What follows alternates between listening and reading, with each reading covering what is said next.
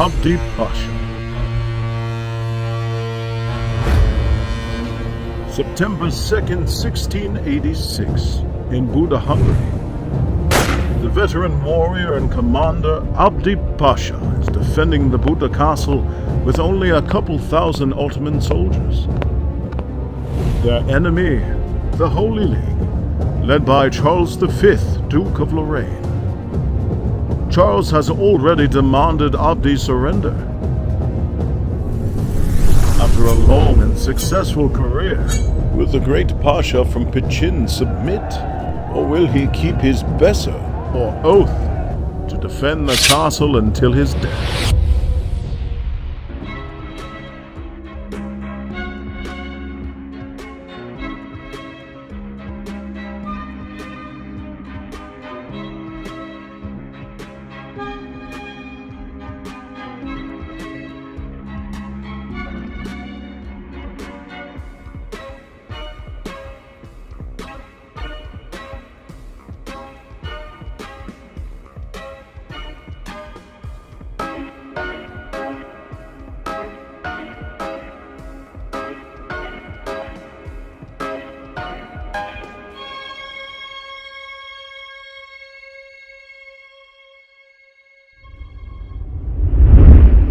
According to the well-known Ottoman traveler and contemporary Evliya Çelebi, Abdurrahman Abdi Pasha was born in the early 1600s in Peqin, Albania, to a family originating from an obscure village in the Elbasan district by the name of Kopani or Sikul.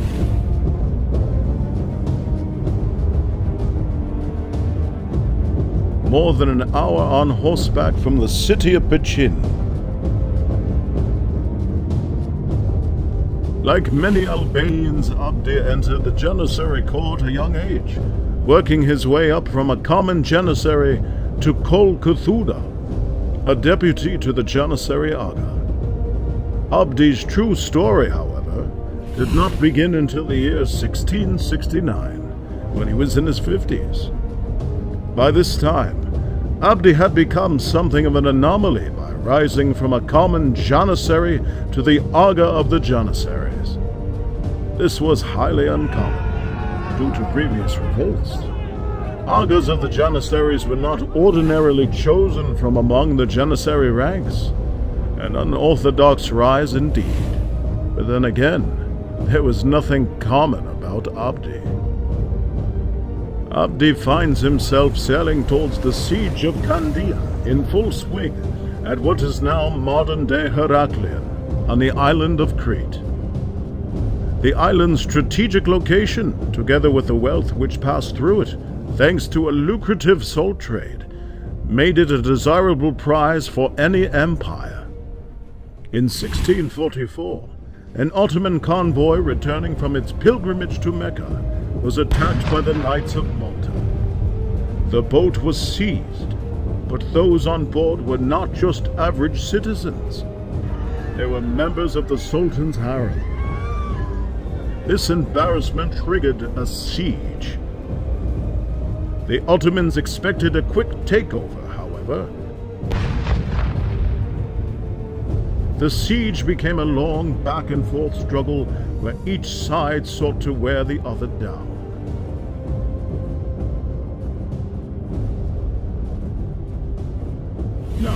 1669, with the siege in its 21st year, the Janissary Aga Abdi Pasha joins Koprulu Fazil Ahmed Pasha of the famous Albanian dynasty, the Koprulus. They are determined to finally resolve this embarrassment. Taking advantage of Candia's weakened infrastructure, the Ottomans end their longest siege in history by storming the island in a furious display of trench warfare, ending the longest siege in Ottoman history. Evliya Çelebi was present for the siege and mentions that without the combined efforts of Koprulu Fazil Ahmed and Abdi Pasha, the city would never have been fully conquered. He tells a fascinating story from the negotiation room where Abdi Pasha took it upon himself to control its discussion. Abdi Pasha, upon hearing the Venetians wanted to retain land in Crete, burst out, You be damned! He argues Selim II hadn't allowed it, and neither should they. The Christian population leave Candia unharmed, and a prisoner swap occurs. The Ottomans allow the Venetians to keep Grambusa, Suda, and Spinalonga, a very generous deal. Before their meeting concludes, Abdi Pasha has the Venetians take an oath that they will not harm any Muslim pilgrims traveling in the Mediterranean. The Sultan's honor had finally been avenged. Evliya Çelebi mentions that Abdi Pasha commissioned a beautiful complex comprising of a mosque, a school, a fountain, and a bazaar built in Candia. In 1672, Abdurrahman Abdi Pasha participates in the Polish expedition as a Janissary Aga alongside Sultan Mehmed IV. After the castle of Kamyanets, located in modern-day Ukraine, is conquered, Abdi receives the rank of vizier and two valuable horses from the Sultan himself. By 1674, he has become governor of the Baghdad Eyalet, threatened by the Ottomans' hereditary enemy, the heretical Safavids. Abdi successfully commands Baghdad for almost two years before transferring to Egypt on May 11, 1676. The Nile country is dealing with social unrest due to the poor leadership of Abdurrahman Pasha's predecessor, Ahmed Pasha.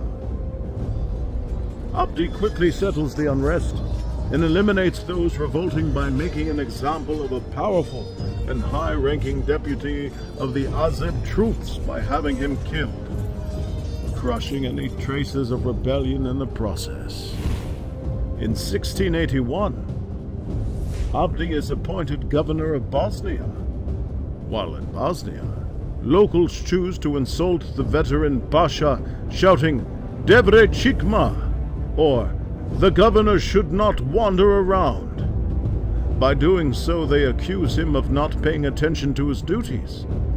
The Pasha replies, I have the Sultan's order for this duty. A quarrel breaks out and many are killed. Once again, Abdi is forced to put down a revolt. In 1682, at the Podolia Eyalet, the same castle of Kamyanets that Abdi helped conquer ten years earlier, is now under attack. Only now, Abdi is governor and commander of the castle. The Poles want the castle back and storm the walls for a month. But Abdi and his men beat them back, holding on to the castle. 1684 Buda The city of Buda had originally been conquered by Suleiman the Magnificent and his troops in 1541. Though many attempts had been made to take it back, they had all failed. Ottoman rule had thus continued, uninterrupted in the city for almost 150 years. The Venetian knight Francesco Grimani wrote, Buda is a magnificent city in a pleasant location. Mountains rise above it, and plains spread to the horizon on the Pest side, and its soil is fertile. The fortification of Buda Castle consisted of a wall divided by large and small roundels, and a dry ditch which stretched along its length. The northern castle facade had reinforced stone walls, two corridors built from parallel walls, with two defense roundels built on the shore, secured the supply of the castle's drinking water, with three main entry gates the Fehérvár, the Vienna, and the Víziváros. Inside the walls, Buda was a cultural center, with a population no more than 10,000. Jewish and Gypsy immigrants were protected. Armenians, along with other Europeans, made it their home. Several hundred Hungarian Christians lived comfortably in the city throughout the 17th century. While many churches had been converted into mosques, few churches did remain. The various Christian denominations, including Orthodox Christians and Lutherans, could be found sharing those churches for prayer. Although with restrictions, these conditions indicate that Buda had a thriving socially and religiously diverse society.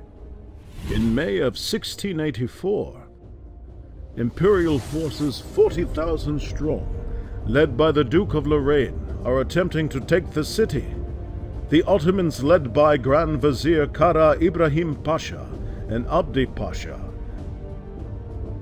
have around 7,000 men in the castle and a relief force of around 17,000.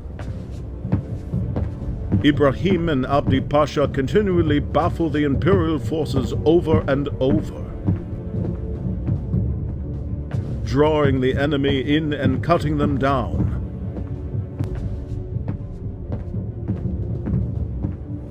The imperial forces do make some gains.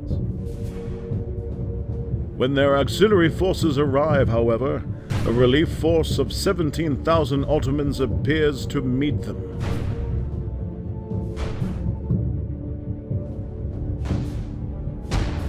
Although the Imperial forces initially do well against the Ottoman relief force,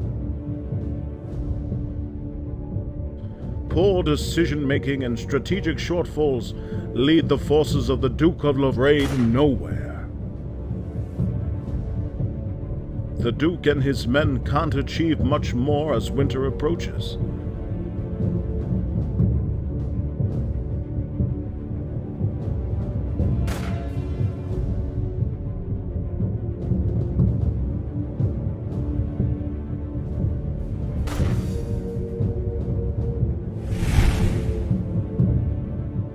After 109 days, the siege ends in a withdrawal for the Imperial Army and a victory for the Ottomans.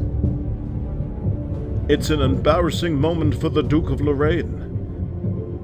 Imperial forces lose somewhere between 20 and 30,000 men from battles and disease. The next time the Duke attacks, he will know better. Grand Vizier Kara Ibrahim Pasha is the recognized hero of the siege. But the wise Albanian from Peqin adds another stripe of honor to his career as well. Then, in 1686, Abdi is commander of the Buda Castle with less than 10,000 men by his side. On his way for another round is Charles V, Duke of Lorraine. He is accompanied by soldiers of the Holy League totaling somewhere between 90 and 100,000 men.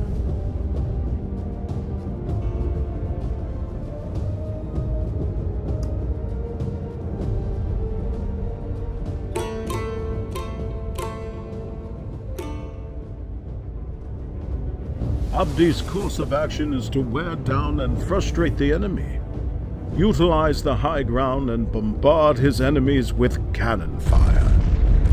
If he can, lure them in close enough to set off mines, then counterattack with soldiers in a ground battle. In early July, the Imperial forces set up mines, hoping for a breach through which they can send infantry to attack the walls. Seeing this, Abdi sets off his own mines and lets his cannons roar.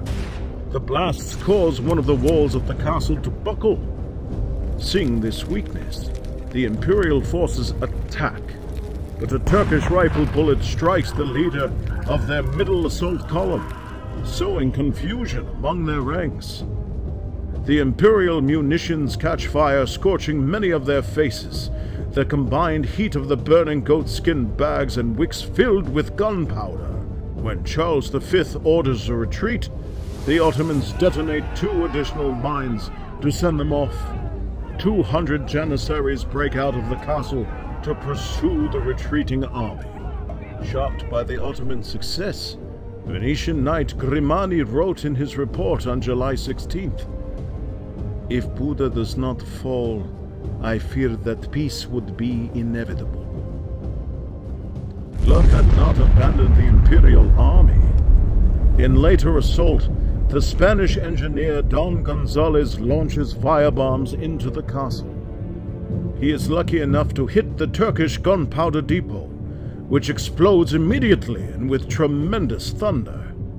A chunk of castle wall is destroyed, killing 500 of Abdi's men.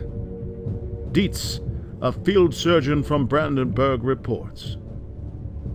The whole horizon went black. Earth, stone, and human rain fell. I couldn't think of anything else but the end of the world.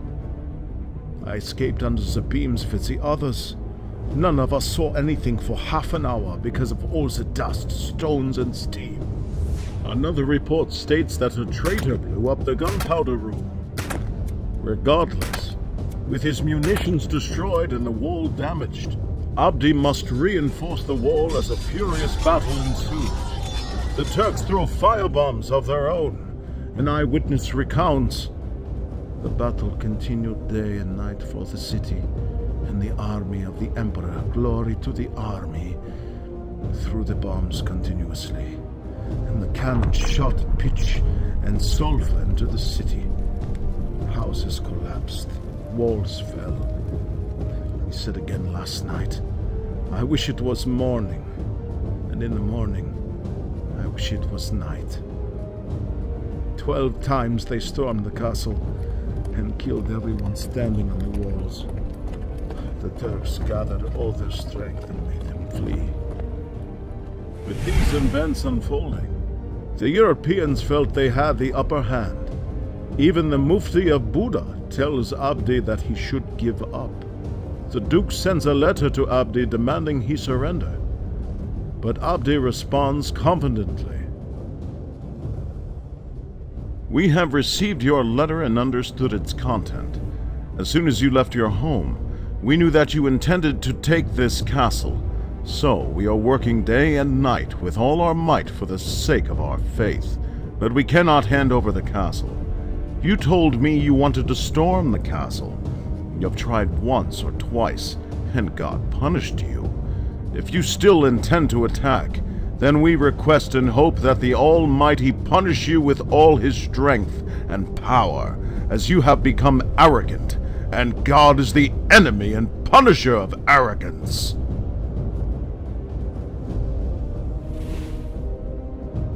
What the Duke and his allies cannot understand is that Abdi Pasha gave an oath in Albanian, this was his Besa, an ancient code of honor amongst his people. He promised to protect the castle and its citizens until his death. Dying meant nothing. Breaking his Besa was far worse. Understanding the consequences of losing the castle, the local population hasn't stayed idle. Every able-bodied man, woman, and child has chipped in to help. Some are responsible for firefighting, others for carrying war tools. The roofs of the city's houses are torn down, their wood and stones transported behind the castle walls. Abdi has ordered all the cisterns filled with water and begun construction on another. The Adjutant General, of the Duke of Lorraine, assessed Abdurrahman's leadership Indeed, all Turkish defense measures were carried out in such an exemplary manner that there was no shortage during the siege. The Duke sends a second letter. In his second and final reply, Abdi, in spite of all he is dealing with, lightens the mood by suggesting they negotiate for another castle rather than Buda. He goes on to write. Above all, we send our warmest greetings. We have received the letters and have learned that you wish to surrender the castle again. The handover of the castle is in God's almighty power and not in our hands. You have notified us of your mercy, and you do not desire bloodshed. Therefore, make an effort to reach an agreement that is beneficial to both parties, to free the subjects from total conquest and suffering. We will do our utmost to reach an agreement which is good for both parties. May the servants of God Almighty stop the fires of this war as soon as possible. Amin. Abdurrahman, commander of Buda. Rumors spread, and on July 31st, a Serbian flees, crossing over to the Imperial Army, telling them no more than a thousand soldiers would continue to fight, that the Janissaries rebelled and wished to surrender Buda's castle, but that Abdi refused to comply with their demands. This was not true. It seems that Abdi's enemies wanted to expedite his demise. The old Pasha still had plenty of fight in him, and his soldiers were loyal.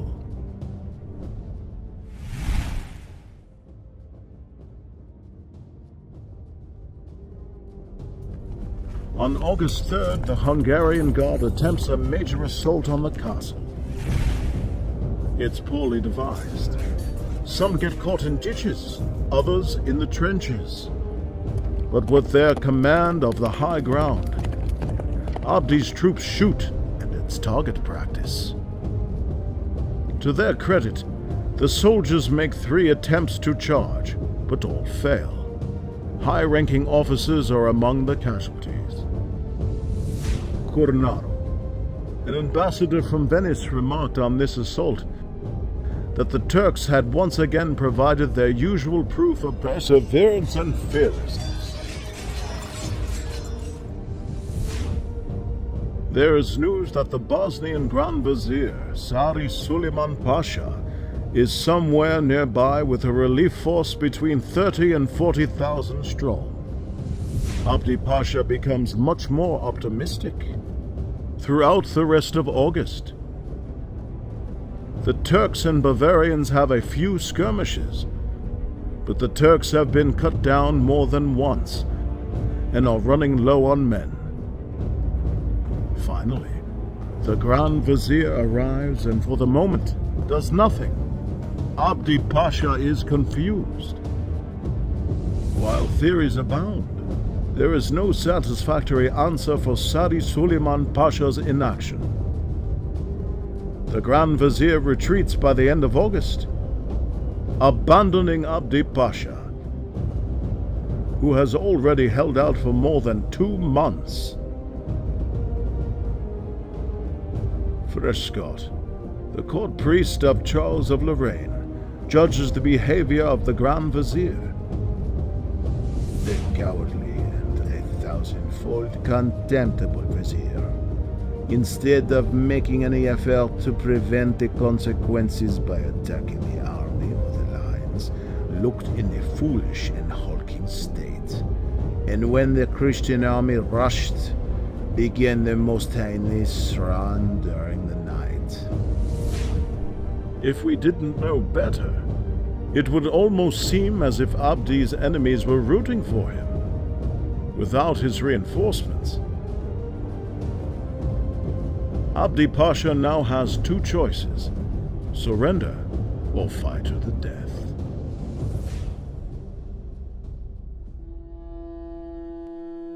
As August ends, Abdi and his 2,000 soldiers would not be able to resist much longer.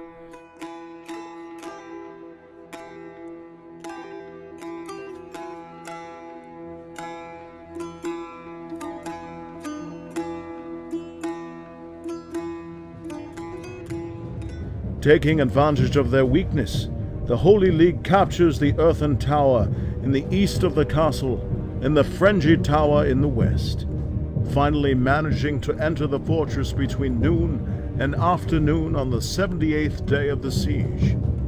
On September 2nd, 1686, Abdi Pasha and his soldiers meet the enemy at the castle's Vienna gate.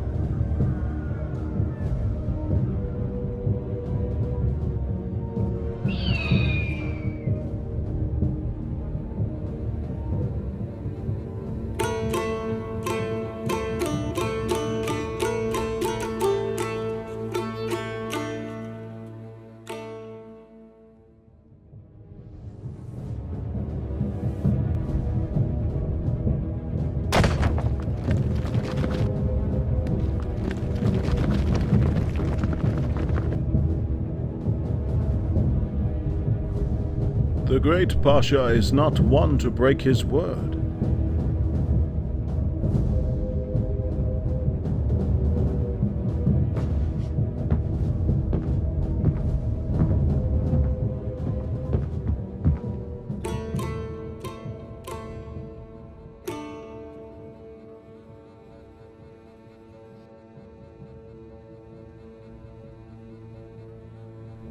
He attacks together with his troops and dies with a great many of them on the front lines. Some of his soldiers survive, but they will probably wish they had died in the battle in the coming days.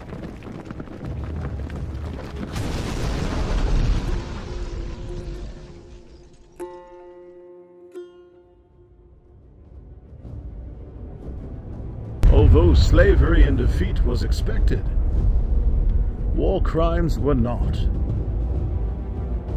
For the people of Buda, those not enslaved were massacred. Men, women, and children. The surgeon Dietz writes, Maternal love could not protect the children who were all dead. I saw women lying dead, holding a gun or a sword in their hands wild animals are gentler with each other than humans. It was said that the Sultan wept in Istanbul, and Ottoman citizens were furious with their government. Although the cowardly Grand Vizier Sari Suleiman deserved immediate execution, he was only banished for a short time.